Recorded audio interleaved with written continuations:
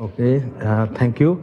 So, um, as you can see, slides will talk about this uh, pathogen crosstalks or pathogen interaction. Well, so before I go into that, probably I would uh, like Samdata asked us so to talk about a little bit about uh, like my background is so I am uh, by training a mathematician, so like uh, in pure mathematics, I say. After that, I moved to working on applied mathematical problem, as you see here, this dynamical system theory, game theory, and kind of thing.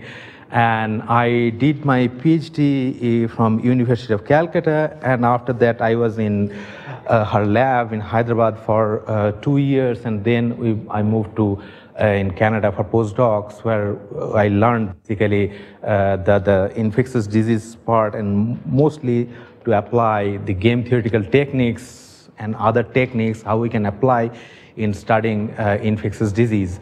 After that, I was in University of Utah and it, uh, worked on several different things and uh, was Penn State for a couple of years and then moved and here and joined uh, SNU University. So the last two years uh, I was in, uh, uh, in, in mathematics department and teaching and doing research on infectious disease problem, several problems, antibiotic drug resistance, human behavior, all are related in the wide aspects of infectious disease. Okay, so um, feel free to ask questions and also I'll be here till Sunday, so just uh, hang on and discuss several things and we are also doing for dinner, lunch and things, so I don't mind to, you know, talk uh, with students. Okay, so let's start. So we'll talk about uh, uh, the story of crosstalks among pathogens and its importance in disease epidemiology. Okay, we'll talk about uh, some of the mechanism of pathogen interaction. As you see that pathogen, they interact with other, uh, interact with other, and we'll talk about models of several mechanistic model to uh, this pathogen interaction, and we'll see the dynamical uh, implication. Essentially, uh, like how these interactions among pathogens shapes the dynamical pattern of the disease outbreak. Okay, so uh, I know we all are tired. So what I'll do, I'm not going to the very uh, detail of the result, how you obtained all these things, but rather we'll give an overview of several disease interactions. We'll see instances like where we can apply, how we can uh, get to know about this. Okay. Uh, well, so um, fine. So what we know that the infectious disease is an outcome of, uh, it's, it's, understood an outcome of integrated relationship between host uh, immune response and the particular pathogen that cause the disease and the environmental factor, including clinical uh, management. Okay, so this is the uh, uh, interaction of all those three basically determines the health impact of the, um, of the individual host here. So traditionally, uh, each disease was assumed a distinct entity that existed in the nature and it is independent of the biosocial context. So the biomedical and public health strategy was to diagnostically isolate and separate or treat each infectious disease as a separate case, even if there are multiple diseases co-occur in a community in the same geographical region and over reasonably over same time period. But this kind of the concept has been changing because uh, recently there is a growing attention due to evolutionary history of the species and comorbidity that in, the health that is uh, presence of more than one uh, uh, symptoms of one disease in the in individual at the same time. So that this concept is changing. So Merrill Singer in 90s who is an American anthropologist he actually introduced the term of syndemic, okay, or the synergistic epidemic, which is the aggregation of two or more uh, the, the uh, concurrent and sequential epidemics or disease cluster in the population with biological inter interactions, and that exhibit the prognosis and the burden of disease. And there are three major concepts that underlies this uh, syndemic approach, which is disease concentration or the disease clusters and disease interaction and the social factors, the large scale uh, social forces give rise to them. which is uh, the concept centers around essentially to identify these multiple uh, epidemics that co-occur in the particular temporal and geographical context and to understand how these Uh, multiple epidemics that interact both population and individual level under the large social forces. For example, these economic conditions, demographic conditions, and social conditions. Okay, and to understand this interaction, the disease, any question? Okay. In the disease, we need an integrated approach of modeling that a multi-level model that can bridge like different study at the same time. For example, the ecological design, the ecological studies, that on, on also epidemiological observation under the large social factors to understand this. Okay, so this study of pathogen-pathogen interaction is a part of that, and this is a new emerging area of the research in the disease epidemiology to understand the community health and uh, social care. Okay, so uh, what I'll do, I'll talk about this pathogen-pathogen interaction. You understand this is an important thing. You'll see in the next few slides, and uh, I'll we'll see that how different kind of interactions, pathogen interactions, can shape this outbreak pattern here. Okay, so. Um, Disease interaction is a common phenomena when more than one pathogen co-circulate in the community. And there are two different ways disease interaction happens. One is the direct interaction when pathogen directly interfere with each other via host immune system. Okay, what you see in this, uh, uh, this uh, uh schematic. And there is another one which is indirect, like the disease transmission of one pathogen had some causal influence on the transmission of the other pathogen. So, and it is due to some third parties. So, we'll see different kind of interactions here. So, it is not possible though to distinguish a disease interaction to fall in either immunological or ecological. There is always overlap exist but here is some of the list. For example, immunological interactions that the interaction occurs through host immunity system. For example, cross immunity, which is very seen in different influenza strains, and also antibody dependent enhancement we'll describe a little bit. And also it could happen through regulation of some immune component of the host. For example, immune suppression and cytokine-based things, which what is seen in HIV and TB or HIV in malaria. And there are also different interaction that is more indirect or ecological interactions, for example, disease-induced mortality. Now, how it happens? So when by infection, individual develops severe disease, they are taken out from the chain of the circulation, or it is through the vaccination. Okay, you are taken out from the chain of circulation from this host, and that way it interfere with the other pathogen. So that is the isolation, vaccination, or even host heterogeneity, or different immune profile can uh, induce different ecological interactions. So here I'm going to talk about this cross immunity and antibody dependent enhancement, and also like we'll talk about this isolation. So I'll give you the overall view of this couple of things and uh, the result. And this is a mix of my own work and also other work here. Okay. Now, um, so first is, okay, so here is kind of the split I have done uh, for my total talk here. So I'll talk about the model and the dynamics of interaction. We'll talk about uh, different kind of mechanism of the interaction and the model of it. We'll see how this gives the shape of this uh, dynamics. And also we'll see in the next step is how we can use interaction mechanism to infer the dynamical pattern of certain disease. And in the third category sort of uh, inverse problem that okay fine we understand this is the mechanism this is the dynamical pattern it shows. If you change your parameter, that's fine. But given a data, can you identify what kind of mechanism is uh, going uh, in that? So the third problem actually focus on this one. So these are three things that uh I'm going to talk here. Okay. So the first one, okay. The before that, uh, let me talk a little bit about the SIR model. We all know, I'm not going into the detail, but what you know is that the SIR is the classic but old kind of the framework where we can, uh, which can describe the disease process on more uh, average uh, or mean field approximation way. And the, uh, the R0 here, by the time you all know that, this is one of the key index which can gauge the disease progress in the community. For example, R0 greater than 1 means uh, there will be an epidemic, which is very clear from here, the second equation, as you see here, or R0 less than 1 means this epidemic will die out. Now, this we all know. And when we add, so there is no birth and death in this disease process, as you see here. There are few susceptible here in the population that gets the disease and infected and over time they recover. Now when you add birth and death in this process, what you see here, yes, so it's a model with birth and death, and we see here that this become an endemic disease, this disease persists, and the important thing is that you see there is some recurrent outbreaks in the beginning. So there are some recurrent outbreaks in the beginning followed by uh, uh, endemicity of the disease when you, there is a birth and death.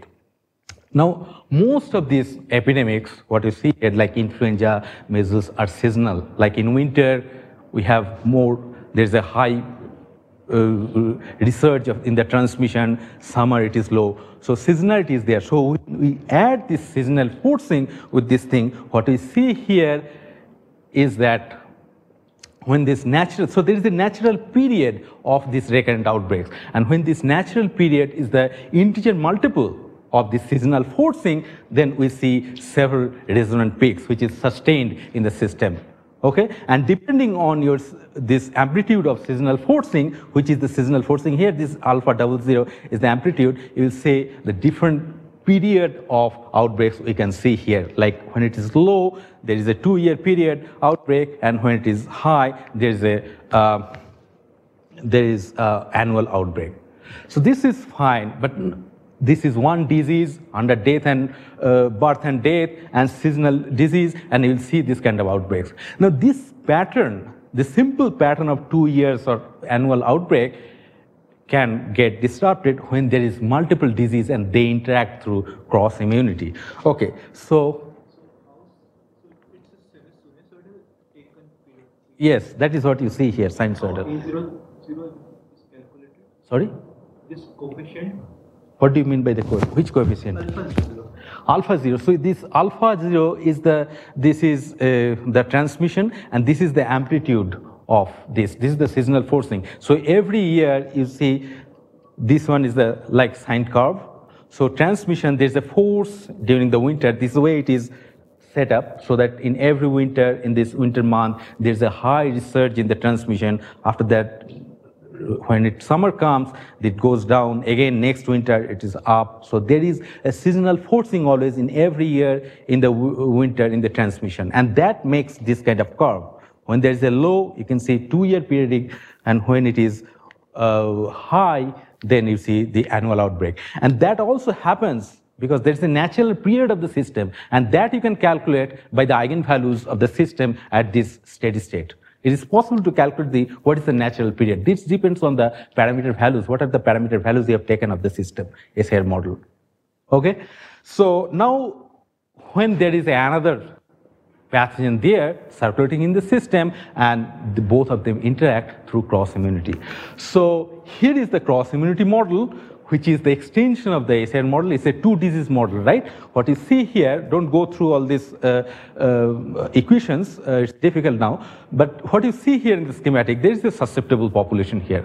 Uh, infection by pathogen 1, so individual moves to I1, and by pathogen P2, they move to I2, and over time they recover. So this R1 and R2, and they develop immunity from this earlier infection. So J1 and J2, what you see here, this is where the individual get the secondary infection, the infection by the other pathogen. So what you see here, this is R1 that is recovered from pathogen 1, and J2 is the infected by pathogen P2 okay and over time they get recovered and they're immune to both of these pathogens Okay, so here is the parameter, this epsilon 2 and epsilon 1, what you see here in this uh, expression as well. These actually determine the strength of cross immunity. Now again, I'm telling you, this cross immunity is a within individual, is a within individual process. Okay, that is happening in the individual. That is a within host process that we are going to, scaling up in the population level. That is the art of modeling. Okay, so here we are taking this thing here in the population level. So this is a population level model. Okay, so that is what, I get, and the model is also seasonally forced. So what we see here in this cross immunity, when different values of this uh, strength of symmetry we take, we see this kind of dynamics. For example, there is a waning rate, of course. Like after individual get uh, immunity from the disease, it also wanes over time. For example, influenza, even measles also. Earlier, it was thought that measles is lifelong immunity. Now it is like over 30 years or 40 years and antibody decays in the individual. Okay. Uh, so what you see here, if the waning is one year, you see this kind of bifurcation we see if we vary the cross immunity. Okay, and if we take waning two years, we get different multi-periodicity cycles here in the system. And this also seen if we vary the seasonality. So proper amount of this, uh, the, the, degree of cross immunity and the seasonality can give rise to different multi-annual cycles in the system. So that is the dynamical pattern. That interaction can give rise to different periodic uh, uh, outbreak of these two diseases. Okay, uh, and okay, fine. There's some some kind of time series. We see that at this point, you see this is I think six years or something like that. So this kind of dynamics, the red one and black one, the two different pathogen, what you see here. Okay, now there in the earlier you see the two disease has same symmetric cross immunity. They put on one the same order of magnitude uh, uh, the, the strength of cross immunity. If we make it asymmetric, not that two different pathogen will uh, uh, will will give the same cross protection. Okay, so here is if we vary these two different way, you see in this that more complicated dynamics we see. For example, the A is the periodicity, different order cycle we can get depending on this epsilon R and epsilon, epsilon P and epsilon R. And the second, the figure B is the phase difference, okay? Like two outbreak, there's a phase difference of weeks. For example, I can give a quick uh, idea. So here is, uh, you see that outbreak of one disease, one outbreak, and another one, say, for example, here. So this is kind of phase.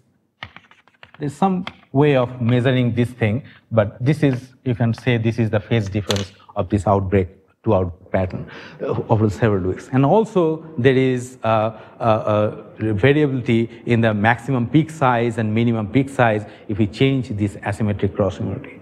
So what we saw here is that this cross immunity, a kind of disease interactions uh, through host immunity process can give rise to variable dynamics if we change the magnitude of the seasonal variation in transmission or also the degree uh, of the cross immunity. So this is one of these uh, the mechanism of interaction where transmission of one pathogen can inhibit okay, reduce the chance of getting infection by the other pathogen. Okay, there are other interactions when if you get infection one pathogen, it can actually increase the risk of higher risk for the other pathogen. So, which is called ADE, antibody dependent enhancement, this kind of interaction, it can be seen in dengue viral infection. Okay, we all know that. I hope this is mine. Okay, so dengue is uh, is a common infection in um, trop tropical region in Southeast Asia, we know. And when person get infected, when dengue virus uh, mosquito bites, uh, infected mosquito bite this person, and this dengue virus infects the Langerhans cells, it is a kind of dendritic cell in the skin, and after that, these infected cells travel to the lymph nodes, and this way it spreads to all over the body okay? And that increase the high level of uh, virus in the bloodstream which is called uh, viremia. Okay? And that uh, we this time we can say that individual is infected uh, has very very high viral load. Now for ade this antibody dependent okay so here is a couple of outbreaks here in um, where it is. This is in thailand it is in Thailand from 1973 to 1999, and there's another outbreak is uh, in Vietnam from 1904 to 2007. So what you see here, the blue bars is the annual disease incidence. okay? And uh, these four different what you see, different colors, the red, blue, uh, green, and yellow, these are the four different serotypes. So, so four different serotypes are prevalent in this Southeast Asia. In different region, it is, the proportion is different, okay? So what we see is very clear two things from these two data, two sets of data. The first one is that the, this is the monthly data, this in the lower panel. And from these data, we can say this is very strongly, it is a seasonal. And one thing often happens in uh, in, in dengue is the serotype replacement. You see, for example, here in the red, the red one is the dominant, for example, uh, 2004 to 2006. So every, every two and three years, you will see there's some one dominant, is, one strain is dominant and next two, three years, someone is other. So this type of uh, uh, serotype replacement and this serotype diverse, diversity is, um, can be seen in dengue virus. So there are several scientists, group of scientists uh, propose several models to explain this, uh, why this kind of uh, diversity is seen and how we can explain. So I'm going to talk about, um, uh, okay, this uh, uh, model by university I think Imperial College London, yeah, uh, there's a group, they propose some model. So before that, we talk about this antibody-dependent enhancement, what it happens basically. So this was first observed in, uh, in 1960s by Dr. Scott in Vietnam. And what they have uh, noticed is that people who had earlier exposure to dengue, basically they have an increased risk of severe dengue compared to those who have no primary exposure of this dengue infection. So they actually uh, went further and that, that this is kind of mechanism, cellular mechanism happening in the individual host that increase the higher risk of secondary dengue infection, which is called this antibody-dependent enhancement. So it occurs when pre-existing antibody are present in the body from this primary infection, and when it, it uh, when this secondary infection, the virus comes here, uh, this this blue here is uh, this antibodies here. They binds the virus and instead of what antibodies does basically from the memory when it comes, it actually neutralizes the virus. Okay, but instead of neutralizing it, they, they actually define some complex, virus antibody complex, and that actually goes to the receptor of this monocyte. So this helping uh, virus to bind with this cell instead of neutralizing it. And that increase the overall replication rate of the virus and increase the higher risk of secondary viral infection. So it is it enhancing the, uh, the, the, infection rate for the secondary uh, uh, uh, infection for this dengue. So this is kind of cellular mechanism again by model uh, by uh, this Recker et al. Okay, so here they have model four different serotypes okay? And uh, four different serotypes. As you see here, this is the susceptible, and Y1, Y2, Y3, Y4 are four different serotypes. These are the recovery, and this is the secondary infection here. And this process, cellular process, again, this is AD is the cellular process, is scaled to the population level by these two parameter here in the force of infection, which is enhancement of susceptibility, like who has the secondary infection, they're more susceptible, you know, this uh, for secondary infection, okay? And they can also have higher transmission rate. Once they get secondary infection, they can also uh, increase, uh, transmit the infection more rapidly. So that is what uh, they have uh, introduce these two parameters. So using these two parameters and with this simple uh, model, they have seen what is the effect of AD, antibody-dependent enhancement, on this uh, uh, system, on all, all these four serotypes here. Okay, so here is the effect of AD, and you see there are four figures basically. The first figure, they have looked at the synchronization pattern, and there are three things you'll see for three different colors here, red, blue, and green. So the blue is basically desynchronized. So here, let me explain you. By desynchronized means they have run this thing simulation for 1,000 years, for example, okay? And when there are two outbreaks, you'll see the first, okay, let me tell you again. The first block here in the first uh, uh, figure is this between one and two serotypes and second one is 1 and 3, third one is 2 and 3, fourth one is uh, 3 and 4.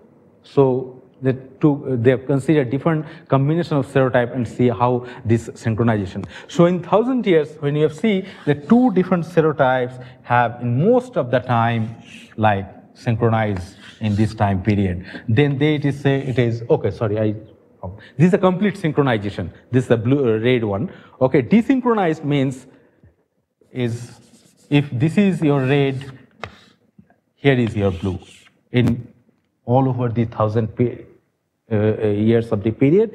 And partial synchronization mean, for example, in thousand years, maybe in the hundred years they synchronize. Okay, at the same time the outbreak happens, at least 100 years, then we'll say this is a partial synchronization. So that is sort of definition here in this figure. And we'll see that this most of the cases, uh, you'll see this blue, we can see the band here, and this is desynchronized, that to different time this outbreak happens. And that is what it is, that in particular time, some particular serotype is prevalent. Okay, that is what we see in the data. So AD can explain to some extent. The second one is the serotype dominance, like at least zero is the two types dominant in the blue, and the red one is basically the one serotype is uh, dominant here. And also, he, they have looked at interepidemic period. For example, like if there are blue outbreak happens, what is the interepidemic uh, period per se? So there are different way of this is kind of loosely I can speak like this, but there's a different way one can calculate this interepidemic period, periodicity, all these things. So I'm not going into the detail. But overall, you can say this AD can introduce different kind of dynamical pattern in the four different serotypes and this, uh, uh, this annual incidence. Not only this, they have, hmm.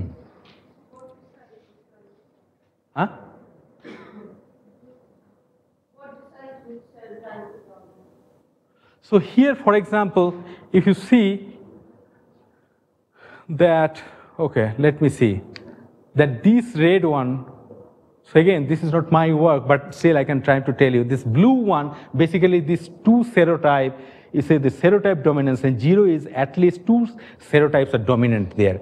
Uh, uh-huh. Yeah, I understood your point. There are four different serotypes here, so it is not very clear. I think there are other pictures. I'm trying to say here that uh, AD can bring this kind of uh, feature here. So there are other pictures in this, uh, uh, uh um, uh like in this their work. Okay. So serotype persistence also they have checked, like for example, when there is the incidence for any serotype, it is uh, above this 10 to the power 8 threshold level, then they say that their serotype is per, uh, persist in this system. So this also checked by for different transmissibility enhancement and different susceptibility enhancement. So not only that, they have also looked at that how serotype diversity actually influence okay the uh, incidence. Uh, uh so that is why they have considered the Shannon index of biodiversity and uh, also checked at the correlation. So HT here you see this sum of pi log of pi. So pi is the prevalence of P1 is the prevalence of serotype 1, P2 for the serotype 2. So here is the Shannon index and PI is the sum of the incidence of this, uh, uh, this from the primary infection and secondary infection and here is the correlation from this uh, PI and the Shannon index, okay, the prevalence and the Shannon index. So what you see here from the picture, it is very clear that in some of the region here, the blue one is the total disease prevalence and H, red is the Shannon index. So like when it is very low, you see there is kind of increase in some of these cases here in the Shannon index. And that actually reflects in the cross correlation. Like in the same time point when there is lag zero, like this correlation is negative, so there's a negative impact. But in the lag of one and two years, there's a positive impact, but is, that is serotype diversity impact positive way to the total incidence of the disease. And that is what is seen uh, very clear here uh, from this cross correlation. So, uh, well, so you can give a, a, kind of idea like AD can also give, and this kind of model we can construct for the cities. Definitely, we can uh, make this model more biologically realistic because it is not the AD for dengue, to some extent, cross, sorry, uh, cross immunity also works to some extent. So we can also add this kind of thing and see like this real dengue pattern, I mean, how much it depends on cross immunity as well as, well as ADE. Okay, so, well, so that is what I said, that ADE alone can produce the periodic and desynchronized oscillation on individual serotypes of dengue, and moreover, it can explain the correlation between serotype diversity and the total disease burden in the community. Now, this is that thing we see that the models of ADE or cross immunity can explain, I mean, not can explain, but these two mechanisms can show different type of dynamical pattern okay if we change the value the strength of proximity or even this uh, the strength of AD for these four pathogen. Now here in this, uh, we'll see next that how we can use this interaction mechanism to infer certain dynamical pattern. So here I'm going to talk about the story of whooping cough. Okay, we'll see that whooping cough has a very variable dynamics. We'll see in next few slides. And here will uh, I, am going to show you in this uh, in the few slides that how we can use this to uh, explain this variable dynamics. So whooping cough is a bacterial disease, unlike dengue and uh, okay, influenza. They are all virus. It is a bacterial disease, and disease actually starts with cold-like symptoms, and within two weeks, severe coughing uh, uh, uh, begins that continues for several weeks, and it sounds like whoof kind of thing. That is why it names as whooping cough, and it is a, it causes serious illness for child as children and as well as adult uh, individual. Okay, so here is the snapshot of some of the whooping cough outbreak, what is in different places. Uh, for example, what you see is the first one is the cases in the Copenhagen from 90 to 60 here, which is what you see in the time series is that intermittent bouts of large multi-annual dynamics with small periods in between, which is very clear from this, uh, the wavelet transformation. The lower panel is the wavelet transformation of this uh, uh, data here, and which shows very uh, dark and light region, and the light contour basically shows that stronger support for these three and four order periods. So this is a weak scale. So it is around 120 week or something like that. So it is a three or four order period in these places here. Okay, and this kind of observation also see this erratic periodicity observed in England and Wales data and also uh, Denmark data and Canada data. So all over the data, what we see is that this exhibit erratic periodicity across space and time. And often there's a transition. As you see here, there's a transition from annual to biennial and triennial pattern in this whooping. And that is very uh, specific to whooping cough. Okay. So again, this is uh, several scientists has proposed several hypotheses to explain this thing. For example, noise in transmission, immunization, that's vaccination, and also demographics, that is birth rate due to uh, recurrent birth rate, high birth rate, and kind of things that could happen, or this distributed latent on infectious period, okay, and immune boosting. But here we are proposing a different uh, hypothesis. We say that the, some of the observed dynamics, what we see in this data, could be explained as a consequence of interaction of these two strains of whooping cough. So these pertussis and parapertussis, I can tell you, these two strains can cause the same disease, whooping cough. And I'm saying that some of the observed uh, pattern in this last slide, what we saw, can be explained by interaction between them. And interaction, okay, well, so here is some of this uh, data of these pertussis and parapertussis. One is in Denmark from 1946 to 70, and another is Massachusetts. And here you see here in the upper panel, the broken line is the pertussis, and lower panel is the parapertussis. And here in the black outbreaks are the Pertussis one, and the red outbreak is for the parapertussis. So what we see here that this the the is the prevalence or whatever the incidence for this parapertussis is much much lower than pertussis here, and both of them, which is very clear from these two data, that they exhibit out of phase oscillation. Okay, so both here, there's no peak, there's a peak kind of thing. So out of phase kind of thing here, completely out of phase oscillation.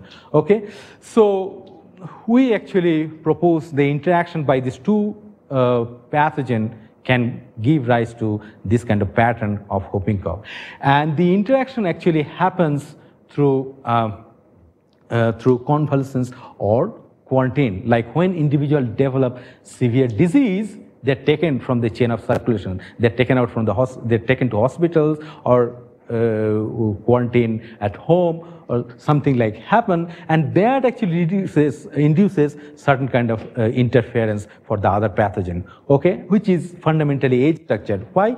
Because this is kind of a documented study in the whooping cough uh, disease severity uh, outbreak here and in uh, in london from 1974 to 1975. What you see here, this hospital admission, this is also decreases with age and also home cases like who are quarantined at home, this is also decreases with age. So we assume that this isolation, this mechanism I'm talking about, this quarantine or isolation mechanism, it is fundamentally age structured and that we have added in the model for more complexity. And we also assume that there's a high severity from the pertussis and low severity from the parapertussis. So this is the kind of ecological interaction that we proposed and we develop a model here. Here's the model schematic. So here is the susceptible, again, the group of individuals, and they can acquire infection from both of these diseases.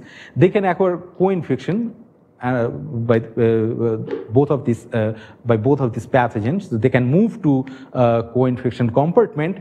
Over time, you see they can uh, uh, like recover and they become susceptible for the other pathogen and they can recover and become immune for both of these pathogens. Now this is fine, but when some of the individual develop severe disease, they're taken out from this, they're quarantined, they're taken out from this chain of circulation, right? So they are not exposed to the other pathogen, basically. So these two compartment here, CBP and CBPP, these are the uh, two compartments where individuals are not exposed to the other pathogen. And this way, this introduce some interference with the other pathogen. So this is the model, and here is the model equation. As you understand, we uh, uh described this is fundamentally age structured. So this is the gamma is the parameter here that is uh, age structured uh, uh, convalescence working here. And what we see here with this, uh, with this model and with baseline values, that model shows that stable out of phase oscillation between these two strains with inter-epidemic period four years and phase difference two years, what we have seen there. But what you see here is that two disease prevalence are same incidence, uh, but not really true what you see there in the data because data shows that who develop severe disease are reported. Parapertussis is less severe, so it is less reported in the hospital and clinics, okay, notified. And pertussis is more severe, so it is more reported. So that is why this will bring this disparity in this uh, in this outbreak size so which we not considered here okay so that we see now the more interesting thing happens when you see this basin of attractions so what is basin of attractions so basin of attractions is the set of initial conditions which leads to the system in certain dynamical behavior. So suppose this is your model. Let me describe here. So here is your susceptible S dot equal to this, I1 equal to this, I2, IP, P, sorry, I1 and I2, two diseases here, okay, and here is say R1 and R2, so on. So what we see here the, by uh, this figure, what we want to see, if we take different initial condition for these two pathogen, Okay, for example, this is the initial condition of I1 and this is the initial condition of I2.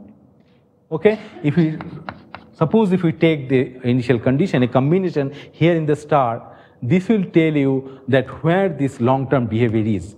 Because whatever the model we are taking, or an initial value uh, model, right? The solution depends on your initial conditions. Okay, so here, for example, if we take initial condition from yellow, this will lead to the system a attractor of this type. I hope you understood what, what's meant by this basin of attraction. So what you see here that the four different attractors are uh, coexist in this nice intertwined basin of attraction. And this is the more complex attractor for this yellow one, this all time series what you see. And let me tell you another thing is that the time series what you see here, this is the proportion of severe disease infected by either of the strain, either pertussis or parapertussis. And there's the severe, uh, the time series of the severe disease, not really the notification. Okay. Okay, so the, that is what we see that for different initial condition, if we take, then it leads to different attractors. So four different attractors coexist.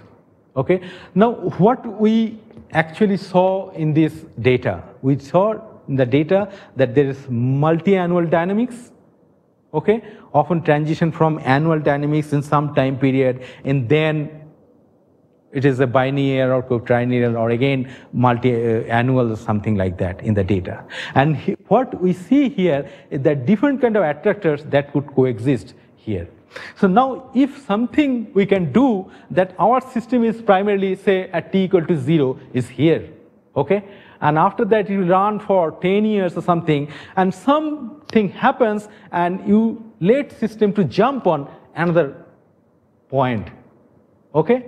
Then system will go and uh, uh, uh, stable in some other attractor, for example, blue. So it was here this uh, dark blue, and next, it will after 10 years, it will show the pattern of this kind.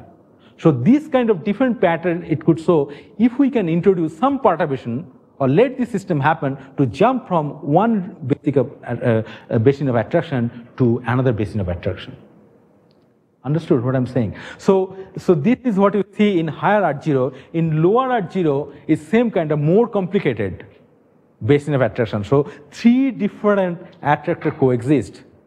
And all this type of different quarter attractor exist because of this interaction strength, the disease interaction. Okay?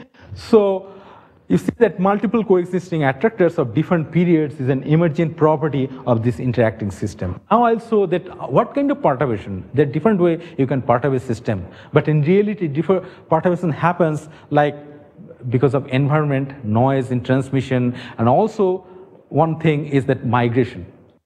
So case importation, suppose we are in India, so some individual came or uh, from outside with some disease and it spreads things here. Okay, case importation can perturb the system and let system uh, equilibrate to other attractors. So that is uh, what we have considered here. So this is the analytical representation of the case importation.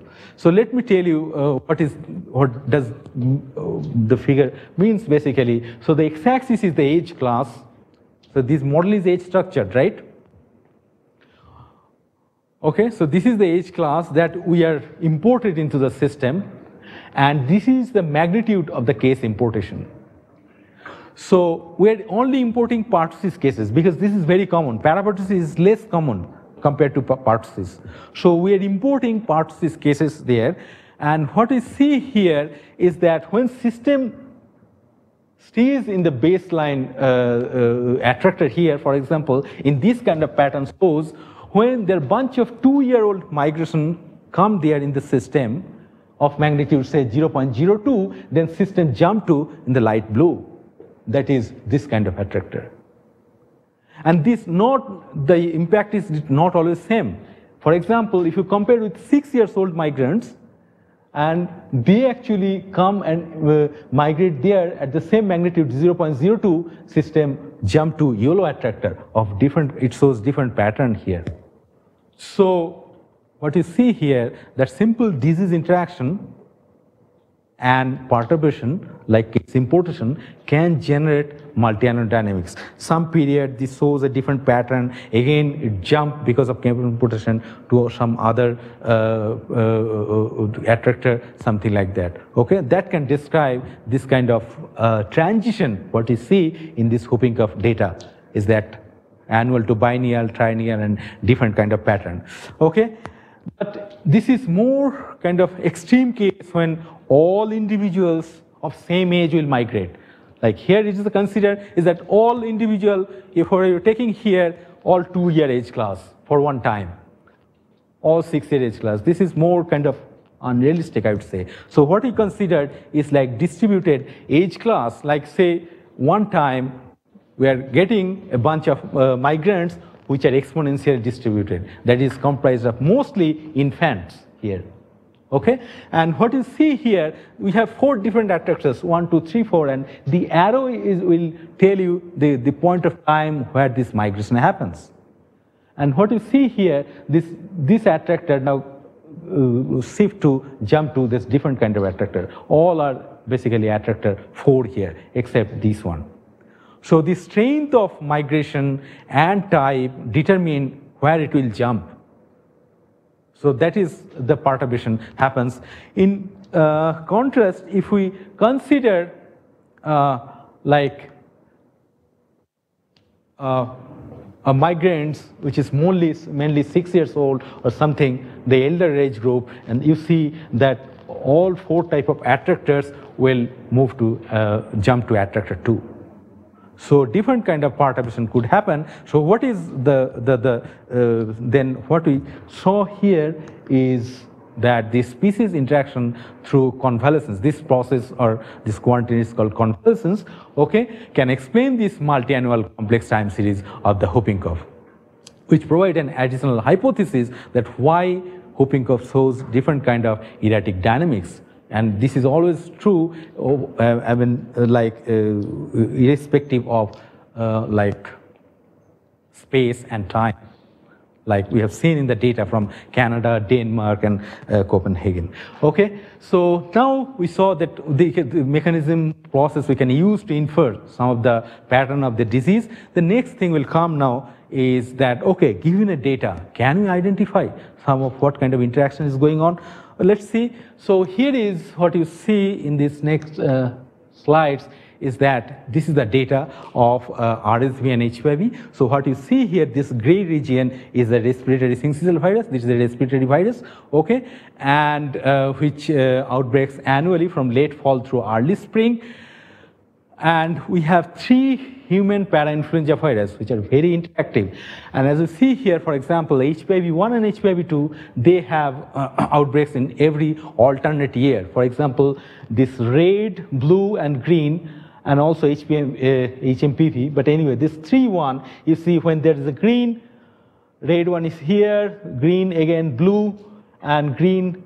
So red one is every two years, and red and blue basically alternate in age every year. So given this set of data, now the question is that, okay, what kind of interaction and do they at all interact? Is, is it possible that only seasonal forcing, because we have seen seasonal forcing can give rise to two-year periodic data, right?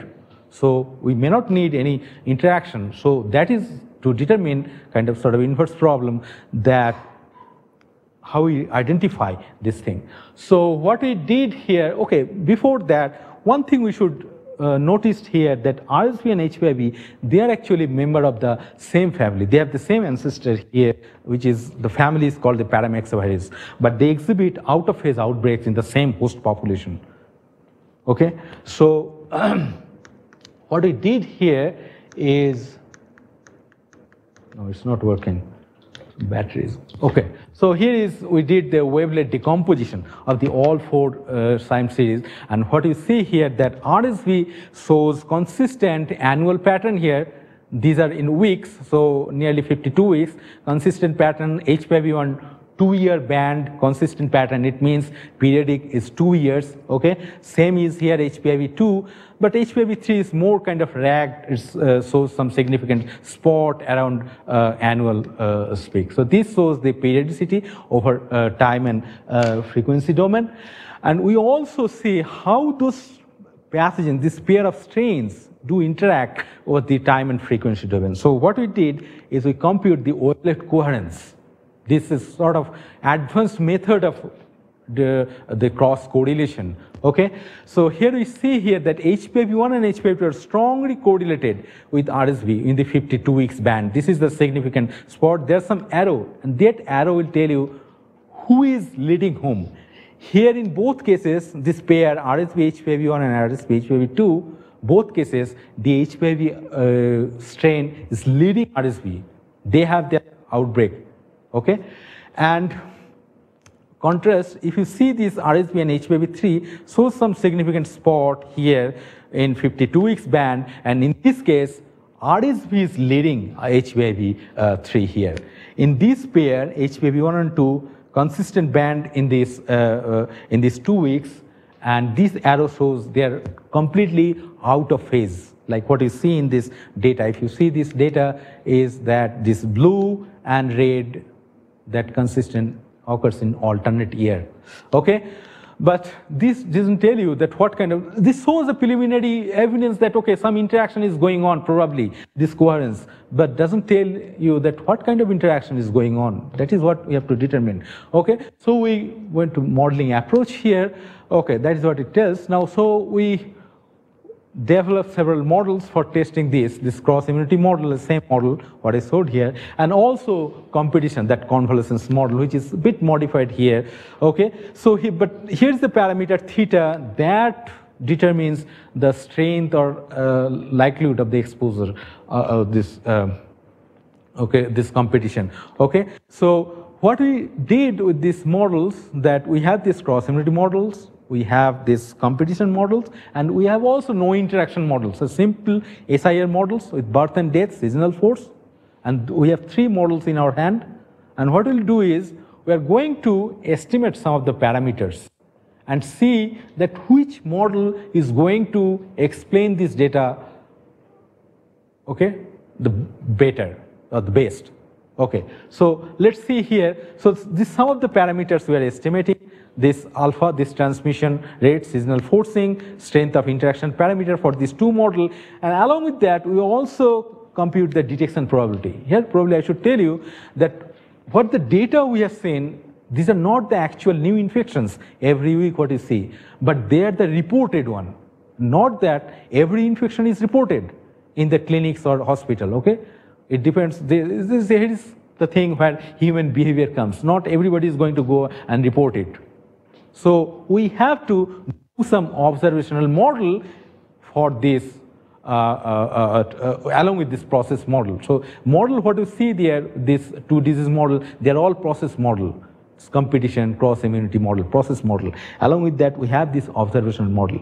And how it works, if TIT is the total number of newly infected in week T for pathogen I, that what we get from this process model, Fi is the reporting probability, and that is the weekly case notification, is drawn from a Poisson distribution mean Fi TIT. So this is the mean, and we take a Poisson distribution, we sample a number, and that is what we say, this is our weekly notification. And that is what we are going to feed to the data to determine all our to uh, the estimates of the parameters. Okay, so altogether we have three models and we have a couple of parameters to do this thing. And what you see here is, okay, fine. Along with this, we also do model selection. Now, parameter estimate you can do, but how can you determine this, uh, which model is doing better? So this is kind of the uh, statistical uh, uh kind of methodology which tell you this Akaike information criteria, sort of index that tell you is that which model is uh, doing best. And sort of thumb rule here is the lowest AIC is the most parsimonious, that's the best model to describe the data or explain the data. Okay, so uh, well, see what it comes. So no interaction model, simple SIR model, seasonal force, seasonal uh, SIR model, and you are going to feed all these four sets of data, you see that it can explain the annual fo- uh, pattern of RSV, but not really good for the HPIV2 and HPIV1, right? There are peaks here annually, but not really. The data are biennial, okay? So these two cases, it cannot explain. So SIR model, single SIR model may not be the good one to explain the, the pattern here, okay? If we see the cross immunity model, that is very interesting. Let me uh, tell you that each panel is uh, is showing the fit of these two disease cross model here. For example, strain 1 fitting this and the same time strain 2 is fitting HPV1. That is why we have three different combinations. Okay, and you see that it can fit the annual pattern as well as biennial pattern of HPV1. Okay, and same thing happening in this HPV2 and also annual pattern of HPV3 when they're fitting this annual pattern of RSV. So cross immunity is the technique, uh, the, the interaction mechanism which explains better than other. What you see in contrast, the competition it is not doing well for HPV2 and HPV1 when it can describe the RSV very well. So competition cannot also describe this thing very well. So it is the cross immunity that explains this uh, pattern. And uh, okay, AIC analysis, you see this also reflected in this uh, AIC index. This is the lowest among uh, all other this single SIR model and competition. So we can determine this is the cross immunity model. Okay, fine.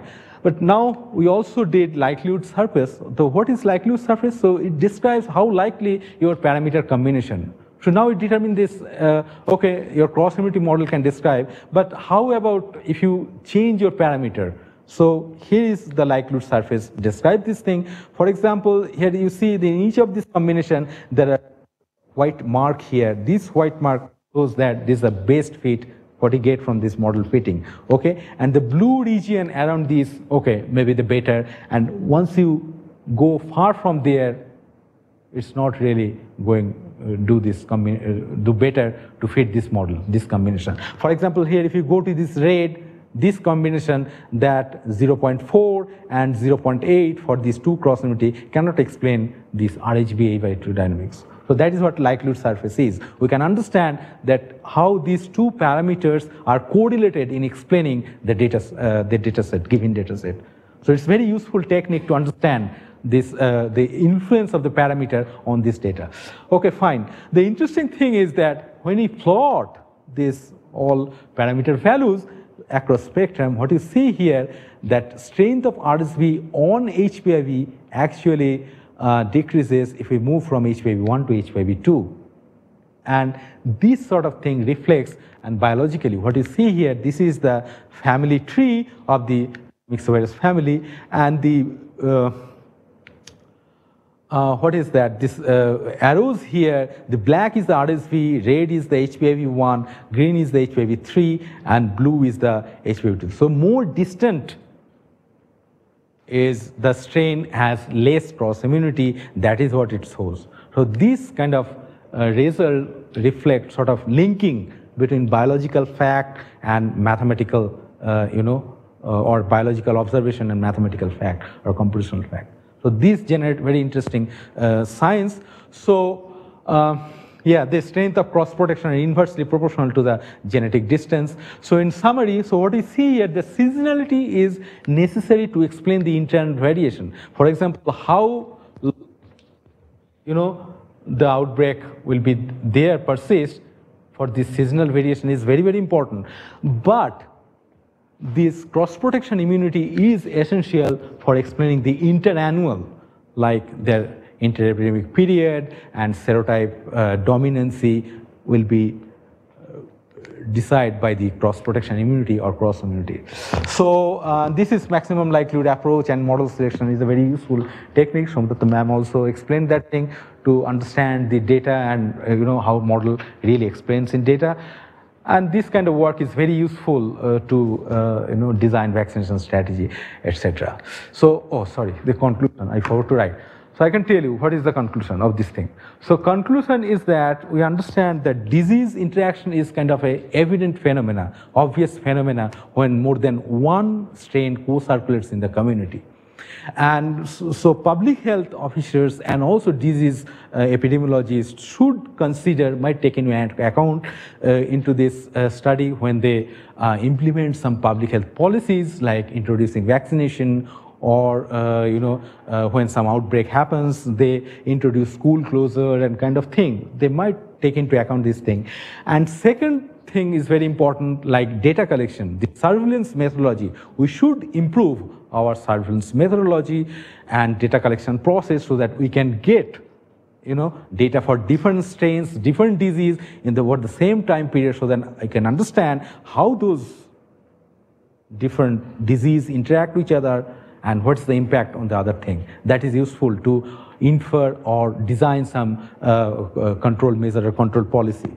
Okay, so here I'll uh, stop and I'll thank, uh, because this is the places I was there and learned several techniques uh, or understanding about the disease. Here is my disease modeling lab in SNU, so we have, good, this is a good time. And uh, my students is there and these are my collaborators and Okay, thank you all of you for your attention. And another thing probably I should tell you is that we're taking up students uh, like uh, 3rd June is the last date for um, uh, for application of the PhD and our department as a faculty for working different areas, pure mathematics and different, you know, uh, field in uh, computational biology, fluid dynamics and image analysis, and also mathematical biology, immunology, and uh, partial differential equation, no, complex network game theory. So if uh, you can circulate and you know let your friends and things good, we have a good amount of uh, stipend, 35,000 per month. We have hostels, and this is a good campus. You can see this nice picture it is indeed. Okay, so thank you very much.